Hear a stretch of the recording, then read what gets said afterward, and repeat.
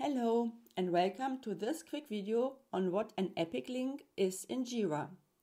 Jira is a software used for project management and issue tracking.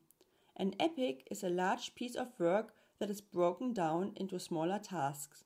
For example, planning a vacation can be an epic with smaller tasks such as booking flights, finding accommodations, and creating initiary. In Jira, you can link different issues together using an epic link. This helps to organize your work and track progress. For example, you can link all the smaller tasks related to booking flights to the epic of planning a vacation. The epic link is simply a way to connect these different issues together, allowing you to see how they are related and how they contribute to the larger piece of work. So, in summary, an epic link in Jira is a way to connect smaller tasks to a larger piece of work, such as planning a vacation. It helps to organize your work and track progress.